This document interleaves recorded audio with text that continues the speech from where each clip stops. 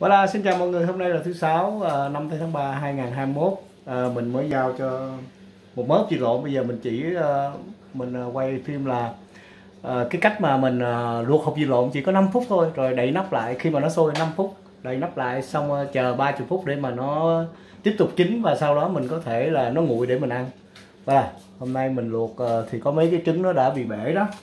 Thành ra là có ba trứng bể. Rồi mình chỉ để nước vừa phải thôi và khi mà à, lửa nó bắt đầu sôi á, thì là mình à, cộng mà để cho sôi thêm 5 phút.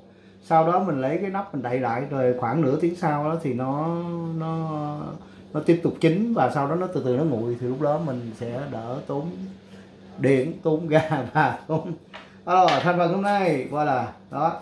Mình chỉ có vài cái um, của vài cái rau răm của bà già cho rồi đây là có sẵn cái muối tiêu à, với lại cái này để mình để cho gì đó mình để cho cái ốc vịt lộn cho nó dễ dàng chút và đó đây là cái trứng nó bị bể Hop. À, mở ra mọi người xem nhé mọi người xem là nó không có nó vẫn chín hết đầy đủ luôn chứ không có bị gì hết và đó Hop.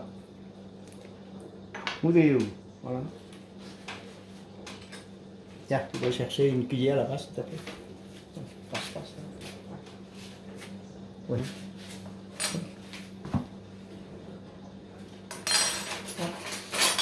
Voilà, coi sẵn cái mũi tiêu này.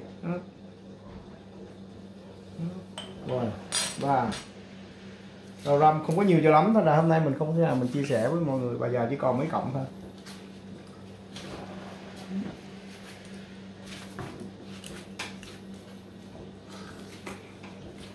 Ừ. Đây hột dừa lộn 18 ngày Nấu 5 phút. Sau đó thì để ờ, thêm nửa tiếng thì chín, gọi là, Không có vấn đề gì hết.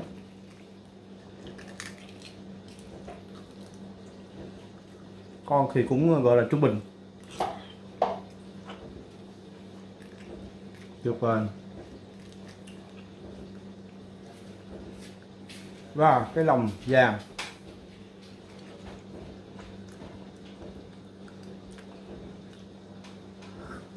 Và cái lòng trắng thì rất là nhỏ. Bể ấp rất là nhỏ. Đó là mục đích là để chứng minh là không có cần phải luộc lâu nhé à, bon appétit merci mọi người đã xem. Au revoir.